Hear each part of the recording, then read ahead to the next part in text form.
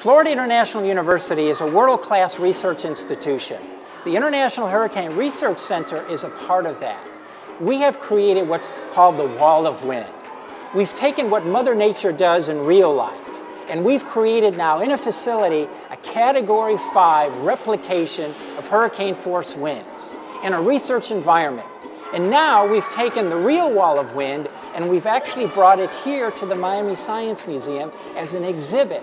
What this exhibit is really about is showing the impact of science and technology on everyday life. And that's one of those areas that we think is very important for people. And actually, what more important thing is there for the people of South Florida than hurricanes?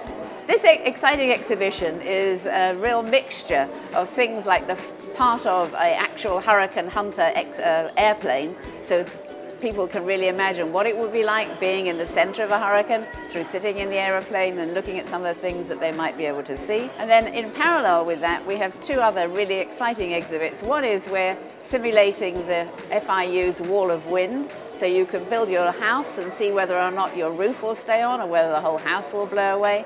And also we have a special magic planet that helps you to look at global trends around climate. The goal of the exhibition is to teach visitors that come and interested anybody really how to predict, prepare for, and protect against hurricanes. I think it's great for families because it gives the parents a chance to work with their kids while they're probably learning for themselves too. I think that especially this hands-on model it's great for the children to see the power of wind and the when there's a hurricane and they can actually see that that it's, it's dangerous and it's magnificent all in one. Today's kids are tomorrow's adults here in South Florida. You can never start too early with these messages. And if you can do it in a fun way where kids can actually construct a house, turn on the wall of wind, have the wind blow its roof off, and then get them thinking about, oh, how can we make that house stronger? What can we do to make this a safer place to ride out the next storm?